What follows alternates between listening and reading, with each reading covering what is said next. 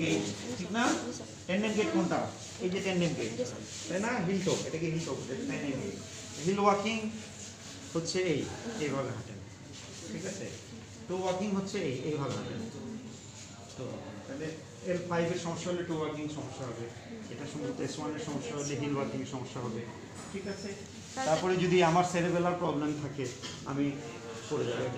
তাহলে দেখো, এটা গলস কিন্তু শুধু রিমেটোলজি নয় গলস কিন্তু নার্ভাস সিস্টেমের জন্য। তাহলে তাহলে টেন্ডেম ওয়াকিং আমি করতে পারব না যদি আমার সেরেবেলার প্রবলেম সেরেবেলার প্রবলেম হলে আমি পড়ে যাব একদিকে যেই প্রবলেম ওকে কার কলম করল হ্যাঁ আমার নয় তোমাদের কারও আচ্ছা তাহলে হ্যান্ড এক্সামিনেশনটা কে করবা? স্যার আপনি স্যার, আপনি করেন। স্যার আপনি একবার তোমরা দেখেন। এতদিন ধরে দেখাইছি না তোমাদের থার্ড ইয়ারে স্যার থার্ড বলে এসে দিয়েছি, দুই করো। হাজার উনিশ সালে আসছিলাম আমরা এরপর দু হাজার উনিশ সালে আসছো।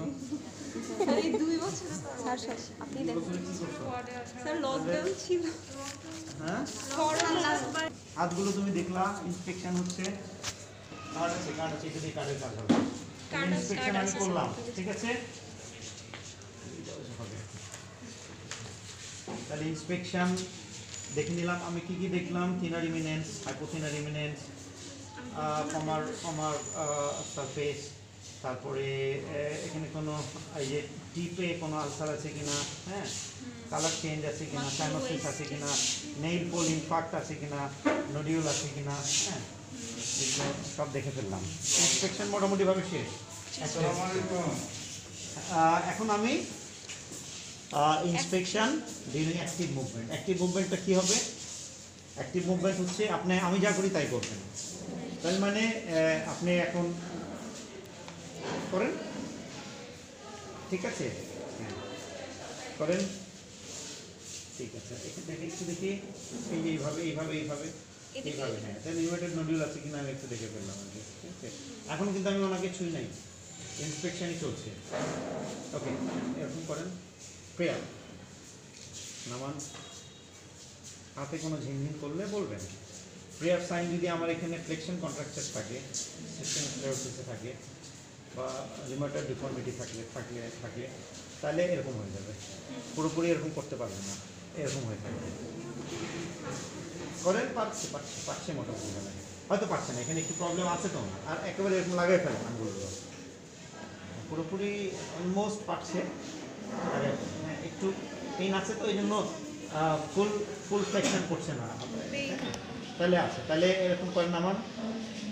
তাহলে নামাইতে গেলে এখন কি হচ্ছে? রিস জয়েন্টে কি হচ্ছে এটা? এক্সটেনশন হচ্ছে। রিস জয়েন্টে একেবারে হাইপার এক্সটেনশন হয়ে যাচ্ছে।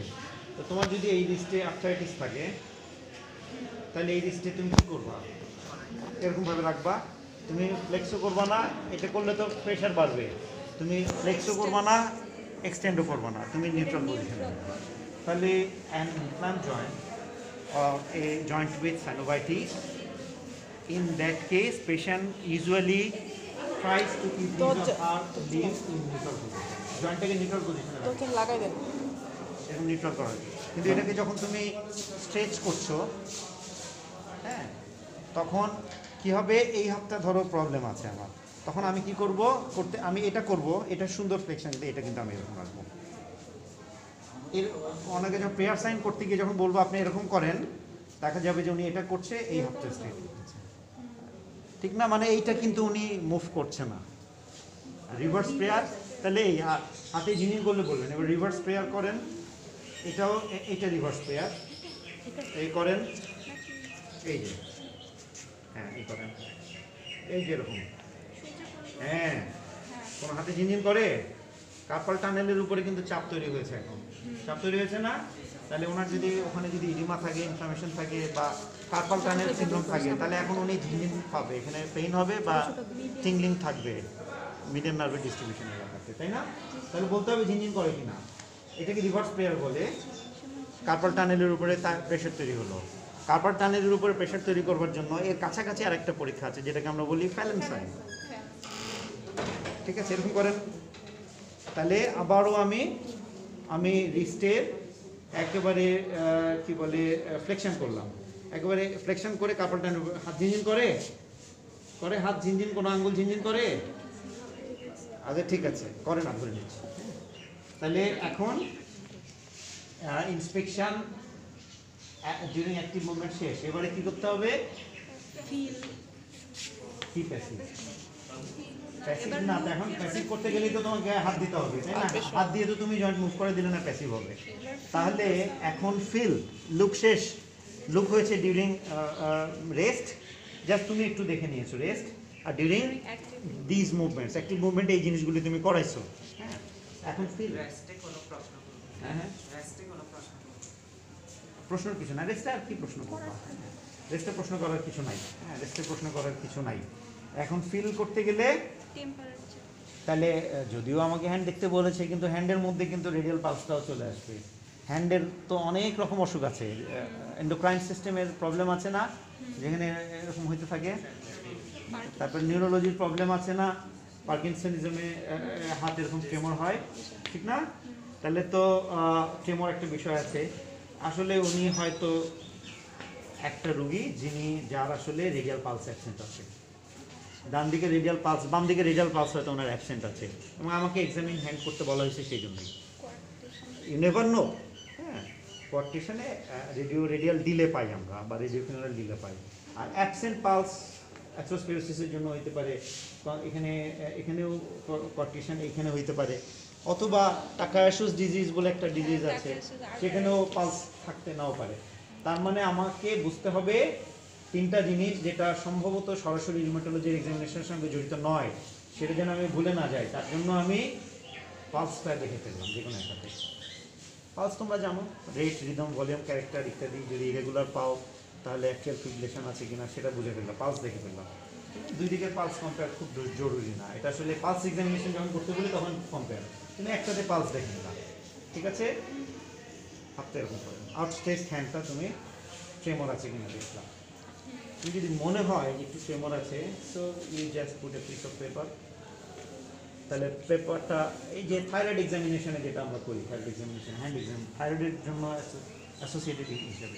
তাহলে পাস দেখেছি ট্রেমর দেখেছি, এবং এরপরে আমি দেখব টেম্পারেচার কোনো একটা জয়েন্ট যদি এক্সট্রিমলি সোলেন থাকে, ধরো এই রিজ জয়েন্টটা অনেক ফোলা আছে, ওইটা ফোলা নাই। ওনার আসলে সবগুলি জয়েন্টেই সোলেন আছে। এই যে দেখো পিআইপি গুলো, এই যে দেখছ স্পিন্ডল স্পিন্ডলিং আছে এখানে। এখানে একটু স্পিন্ডল ডিফর্মিটি হয়ে গেছে, দেখছ? তাহলে আমি একটু জাস্ট দেখে নিলাম একটু হ্যাঁ?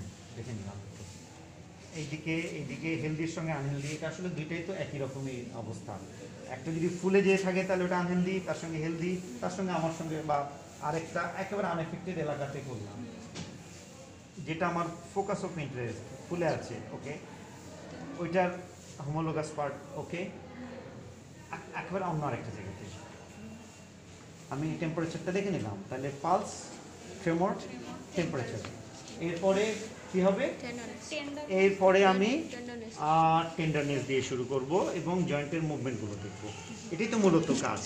তাহলে টেন্ডারনেস দেখবার জন্য সাধারণত আমরা ডিস্টাল জয়েন্ট দিয়ে শুরু করি। And when you are feeling for tenderness you are looking at her face তাহলে এই যে দেখো। ব্যথা লাগে? শোনো আমি বলি আমরা এদিক থেকে করি ওই দিক থেকেও করতে পারি। তুমি যেটাই করো করতে পারি অসুবিধা নাই তো। তাহলে জিজ্ঞেস করতে হবে যে আপনার কোনো ব্যথা লাগে কিনা বলবেন। উনি বল তাহলে ব্যথা এমনও হতে পারে আমি এখানে চাপ দিয়েছি উনি ওনার ব্যথা লাগছে কিন্তু ওনার ফেশিয়াল এক্সপ্রেশনে চেঞ্জ নাই। সেটাও তো গ্রেড ওয়ান টেন্ডারনেস আমি চাপ দিলাম এইটা কত প্রেশার দেবো এটা তোমাকে বুঝে শিখতে হবে যে কত four dyne per metre square বা এরকম একটা, এই চাপটা আস্তে আস্তে তোমার অভ্যাস হবে। এখন যদি তোমার হাত নিয়ে যদি আমি চিপে ধরি, তাহলে তোমার ব্যথা হবে, তাই না? প্রচণ্ড জোরে কে আছে? এই দিকে আসো। ব্যথা লাগে? লাগে? লাগে এখন?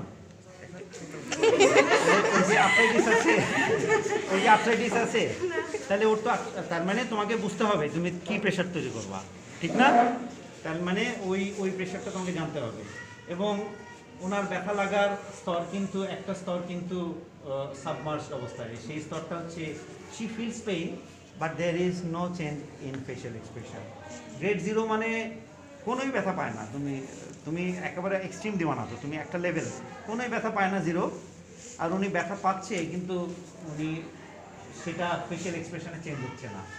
তাহলে patient does not feel pain zero patient feels pain but no change in expression সেটা হচ্ছে গ্রেড ওয়ান গ্রেড টু হচ্ছে patient has pain and patient winces R face patient winces দেখো এই উইন্স করল তাহলে এটা হচ্ছে গ্রেড টু আর গ্রেড থ্রি হবে কি? চাপ দিলাম। হাত ব্যথাও হলে অবশ্যই। উইনসেস অ্যান্ড উইথড্রস দুইটা W patient winces and withdraws R grade three গেল গ্রেড ফোর হচ্ছে, এবারে ওই হাতটা দেখি। না স্যার না স্যার আর দিন না স্যার না স্যার না স্যার না স্যার হ্যাঁ। তার মানে patient does not allow to touch এটা হচ্ছে গ্রেড ফোর টেন্ডারনেস তাহলে গ্রেড ফোর টেন্ডারনেসটা কিন্তু বায়বীয় বিষয়, তাই না? Does not allow to touch হ্যাঁ কিন্তু তুমি হাতই দাও নাই, কিন্তু গ্রেড ফোর টেন্ডারনেস বুঝে গেছো। দেখো কেমন ব্যাপার হলো। হাত না দিয়ে টেন্ডারনেস বোঝা যায়? যায়। এই যে গ্রেড ফোর টেন্ডারনেস দেখি আপনার, না স্যার তাহলে গ্রেড ফোর ঠিক আছে? তাহলে এখন তাহলে বলতে হবে গ্রেড ওয়ান টেন্ডারনেস তো তুমি ফেস দেখে বুঝতে পারব না। ওনার মুখের দিকে তাকায় থাকতে বলছি না। তুমি গ্রেড ওয়ান বুঝবা, ওনার মুখের দিকে তাকায়। উনি ফিল করছে, তাহলে আমাকে বলতে হবে, আপনি ব্যথা অনুভব করলে বলবেন। লাইক দ্যাট ব্যথা আছে? কিন্তু ফেসই চেঞ্জ নাই আমি আমি ইচ্ছা করে ব্যথা কম বেশি করে তোমাদেরকে বুঝাই দিচ্ছি। আমাকে তো একই রকমভাবেই দিতে হবে। তাহলে রিস জয়েন্ট তাহলে বগি অ্যাপিয়ারেন্স থাকবে সোলেন থাকবে, কখনো কখনো ফ্ল্যাকচুয়েশন থাকবে। সোলেন বেশি হলে ফ্ল্যাকচুয়েশনও থাকতে পারে নি জয়েন্টে যেটা আমরা করি। ফ্ল্যাকচুয়েশন করি না, তাহলে হ্যাঁ ক্রেপিটাসটা ফাইন ক্রেপিটাস থাকে। তাহলে ক্রেপিটাসটা বোঝার জন্য হচ্ছে এই যে, এক হাত দিয়ে করব, আর এক হাত দিয়ে ফিল করব। এক হাত দিয়ে ফিল করেছি, আর এক হাত দিয়ে, এটা এইটা জয়েন্টের জন্য লাগবে না। আমি জাস্ট রিস্টের জন্য। এরপরে মেটাকার্পালস মেটাকার্পালের আসলে মেটাকার্পালের রিস্টের পরে এই ওকে ব্যথা লাগলে বলবেন।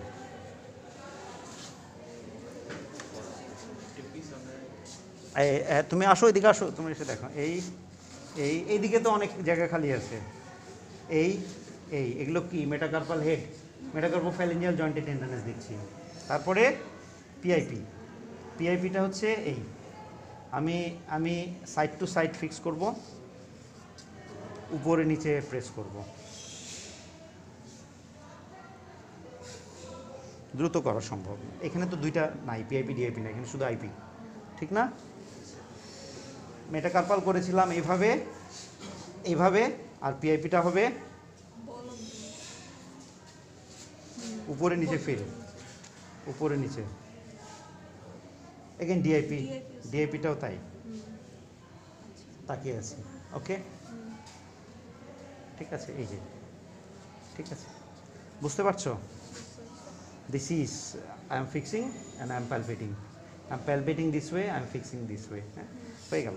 তাহলে সব জয়েন্টের কিন্তু হয়ে গেল। মুখের দিকে চেয়ে আছি, বলতে হবে, কোনো জয়েন্টে ব্যথা লাগলে বলবেন। আর grade two three three four হলে তো ওনার আর তোমাকে আর জিজ্ঞেস, উনি এমনি তুমি টের পেয়ে যাওয়া ওকে এরপরে হচ্ছে আমি টেন্ডারনেস দেখে, তাহলে আমি বুঝে গেলাম যে এখানে গ্রেড ওয়ান টেন্ডারনেস এগুলোতে সব ওয়ান টেন্ডারনেস এইটাতে সম্ভবত গ্রেড টু টেন্ডারনেস বা থ্রি টেন্ডারনেস এটা বুঝে গেছি আমি হ্যাঁ? তারপরে এখন আমি তাহলে পালস টেম্পারেচার ইত্যাদি দেখে ফেলেছি প্যাসিভ অ্যাক্টিভ মুভমেন্ট দেখে ফেলেছি। এরপরে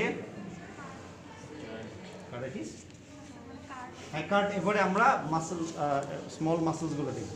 স্মল মাসলগুলো দেখবার জন্য একটা কার্ড দিয়ে করতে পারি। তাহলে এটা হচ্ছে ফ্রমেন্ট সাইন দেখি এটা ধরেন। এইভাবে এইভাবে, এখানে দিয়ে, এখানে হ্যাঁ লাগান। হ্যাঁ এটা দিয়ে দুই দুই হাতে এরকম করে হ্যাঁ এই। তাহলে এটা যদি ওনার কি বলে অ্যাডাক্টার পলিসিস যদি ওনার দুর্বল হয় তোমার তোমার যদি এই অ্যাডাক্টার পলিসিসটা দুর্বল হয় তখন তুমি কি করবা? এইটা এটা নর্মাল আছে ধরে আছো ফার্মলি ধরে আছো। ধরে থাকেন চাপ দিয়ে হ্যাঁ। তার মানে ওনার অ্যাডাক্টার পলিসিসে কোনো দুর্বলতা নাই। যদি ওনার এই অ্যাডাক্টার পলিসিসে বা আমার এই এটার যদি দুর্বলতা থাকতো উনি কী করতো এই জায়গাটা? কারণ এখানে তো এখানে তো উইক তখন উনি কী করতো? এরকম পিঞ্চ করে রাখতো। বুঝেছ?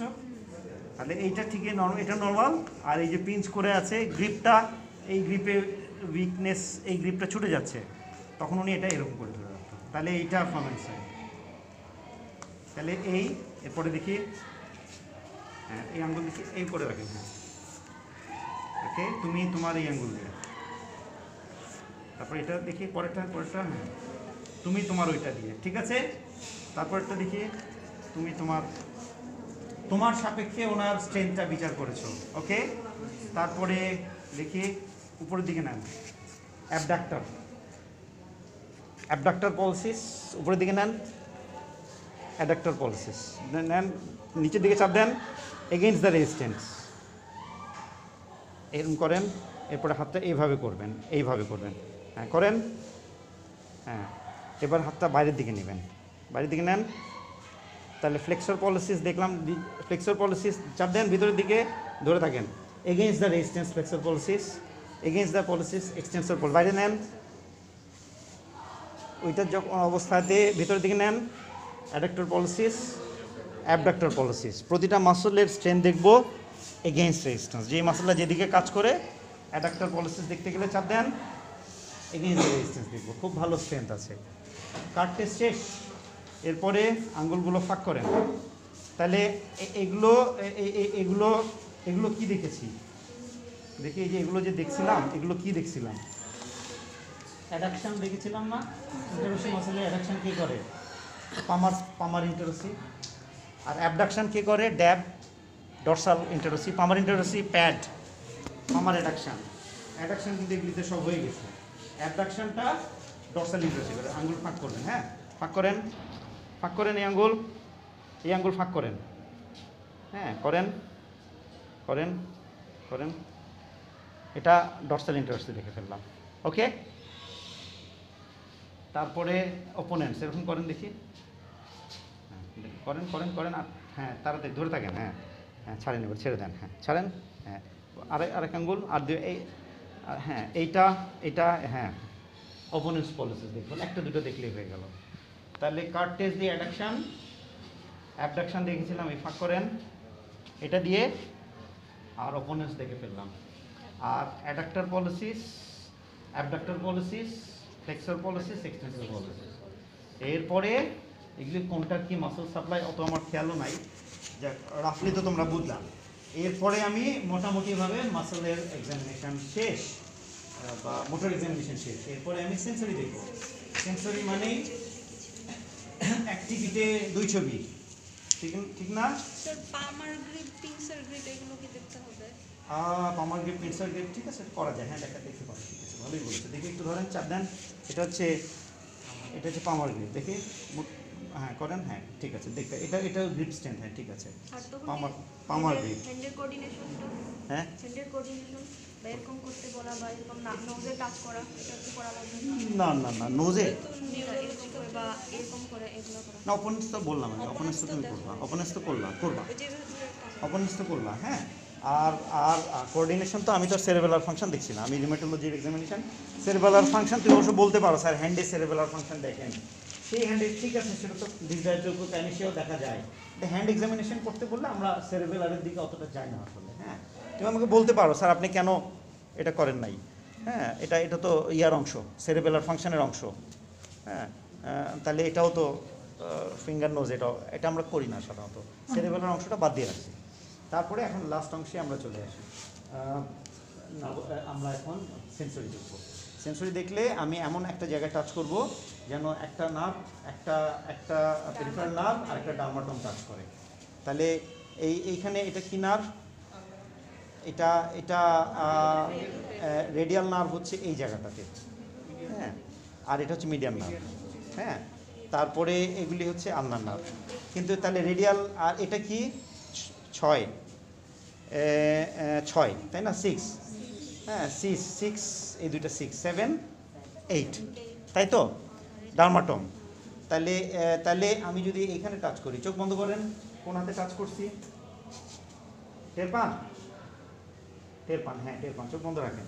টের পান তাহলে রেডিয়াল নার্ভও দেখেছি। সার্ভিকাল সিক্সও দেখেছি।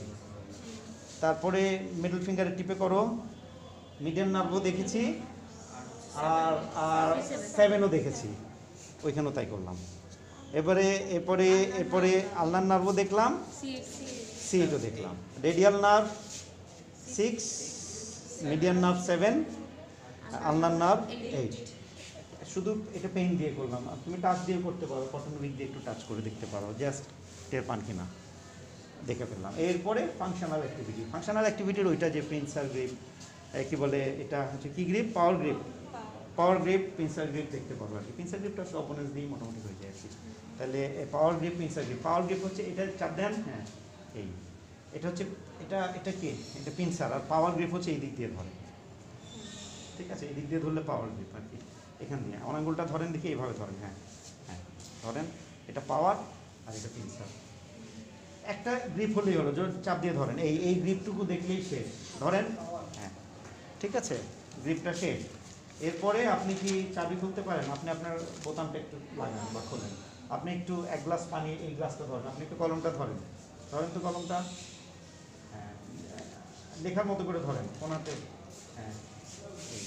লেখেন তো দেখি, তার মানে আমি ফাংশনাল অ্যাক্টিভিটি বা একটা চাবি কীভাবে খুলবেন? দেখান তো, এটা যদি একটা চাবি হয়, কীভাবে দিয়ে খুলবেন? দেখান তো, তালার মধ্যে দিয়ে।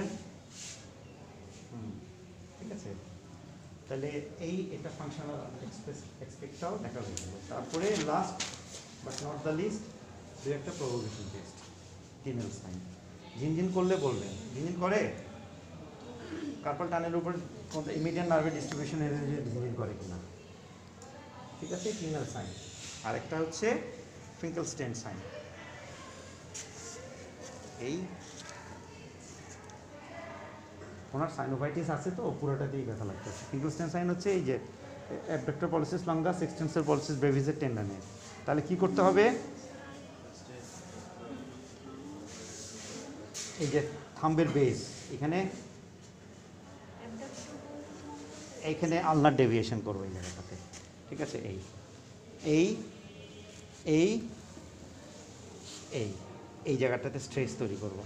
তাহলে এটা হচ্ছে ফিঙ্কেল স্টেন সাইন যেটা কিনা abductor pollicis longus extensor pollicis বেবিজের টেন্ডনের ইনফ্লামেশনটা বোঝায়। তার নাম হচ্ছে ডি কোয়ারভেন্স স্টেনোসাইনোভাইটিস ডিকিউটিতে ফিঙ্কেল স্টেন সাইন পজিটিভ হয়। ডি কোয়ারভেন্স স্টেনোসাইনোভাইটিস বোঝা যাবে আমরা প্রচুর আউটডোরে পাই। এইখানে পেইন এখানে পেইন এবং ওইটা করে আমরা প্রভোকেশন টেস্ট করি। এটা একটা provocation test Finkelstein sign to elicit de Quervain's stenosynovitis and Tinel sign to elicit carpal condition okay তাহলে মোটামুটিভাবে হ্যান্ড এক্সামিনেশন শেষ। গলস নিয়ে আমরা আরেক সময় আলোচনা করব। আগামী সপ্তাহে আমরা